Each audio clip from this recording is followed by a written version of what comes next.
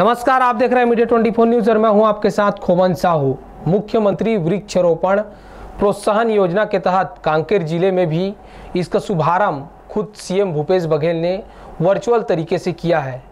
आज कांकेर वन परिक्षेत्र के ग्राम कुलगांव में एक एकड़ से अधिक राजस्व भूमि में प्रदेश के मुख्यमंत्री भूपेश बघेल के द्वारा फलदार पौधों का रोपण वर्चुअल तरीके से किया गया।